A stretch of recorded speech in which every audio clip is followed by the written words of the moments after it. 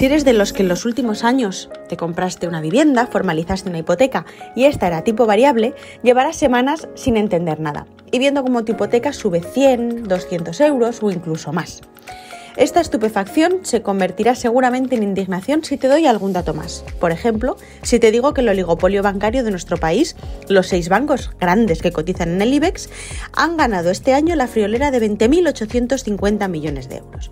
Y como esta cifra es difícil de visualizar, igual se entiende mejor si te digo que el Banco Santander en España ha obtenido un beneficio de un 150% o el BBVA un 38% más.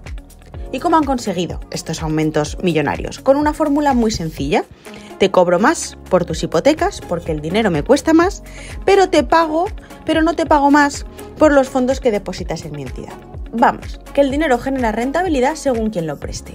Si se lo prestas tú al banco, si depositas tú el dinero, no genera casi rentabilidad.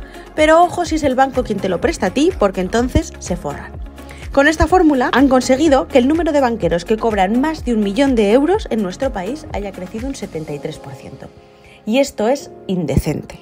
Desde Podemos llevamos meses reivindicando que nuestro país tiene mecanismos para impedir esta usura para topar el diferencial que se aplica sobre el Euribor y congelar de facto las hipotecas de tipo variable, que se puede legislar para aliviar estas subidas en los créditos hipotecarios, que no tienen que ser las familias corrientes las que paguen una crisis que no han producido ellas.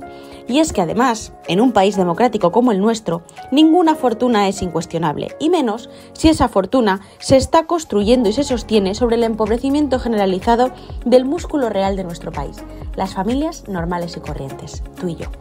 Por eso, desde Podemos seguimos reivindicando que es el momento de presionar para llevar la legislación más allá, como hicimos topando el gas, como hicimos topando el precio de las mascarillas, como hemos hecho interviniendo en los mercados, para asegurar que nuestras familias puedan pagar su techo y hacerlo de forma digna.